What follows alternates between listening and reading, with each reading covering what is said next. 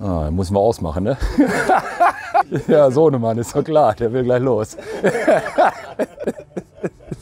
ja, ich bin 48 Jahre und ich lebe seit 48 Jahren hier im Ortsteil. Ich lebe seit 48 Jahren sogar hier im Bussertweg. Ich bin einfach in Sende groß geworden. Ich bin in den Kindergarten dort gegangen. Ich bin dort getauft worden. Ich habe die Schule dort besucht, die Elbracht-Schule. In der Kirche war ich Messdiener, habe Messdiener ausgebildet, war im Pfarrgemeinderat. Ich war in Sende von Anfang an aktiv, erst selber und dann auch seit dem 15., 16. Lebensjahr bin ich durchgehend da ehrenamtlich unterwegs. Trainer, Betreuer, Jugendvorstand, komplett alle Positionen und dann eben auch jetzt seit zwölf Jahren Vorsitzender von Schwarz-Weiß-Hände. Ist meine Heimat. Das klingt ein bisschen abgedroschen, der Heimatbegriff, aber äh, ich bin hier gerne. Es ist ein liebenswerter, lebenswerter Ortsteil und da bin ich auch gerne bereit, mich ehrenamtlich für zu engagieren. Nicht nur im sportlichen Bereich, im kirchlichen Bereich, sondern jetzt seit sechs, sieben Jahren auch politisch. Alle Ehrenämter, die ich irgendwie mal anfange, da möchte ich dann auch meine 100 Prozent geben und dann möchte ich auch mitentscheiden können, mitwirken können und deshalb habe ich mich auch dann relativ schnell entschlossen, ein bisschen mehr zu machen. Eben den Fraktionsvorsitz der CDU. Positiv zum Beispiel ähm, jetzt ganz aktuell die Städtepartnerschaft mit Naturens.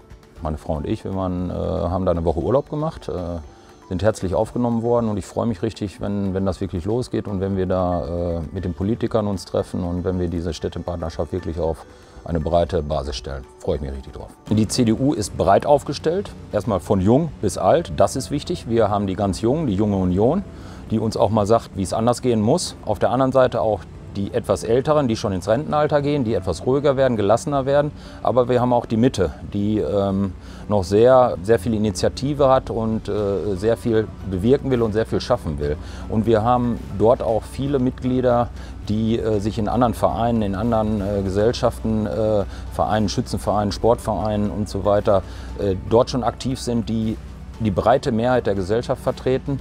Und das unterscheidet uns zu den anderen. Das muss man einfach ganz deutlich sagen. Wir sind breiter aufgestellt.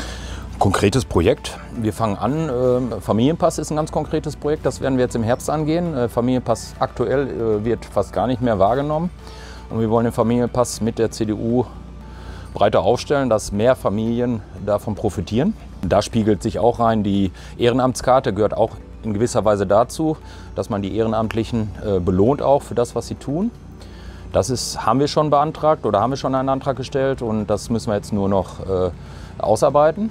Das Gebiet ums Rathaus, wo jetzt die ganzen äh, größeren Handelsketten sind, äh, großräumig zu überplanen. Äh, wir wollen das Einzelhandelskonzept nochmal neu aufbauen. Wir wollen schauen, was wir mit diesem Gebiet machen können. Wir stellen uns dort vor, wohnen, arbeiten und auch leben. Vielleicht auch mal leben mit Gastronomie. Wir von der CDU stellen Anträge, die weitreichender sind, die mehr Gestaltungsspielraum lassen, die aber dann letztendlich zu einem besseren Ziel führen.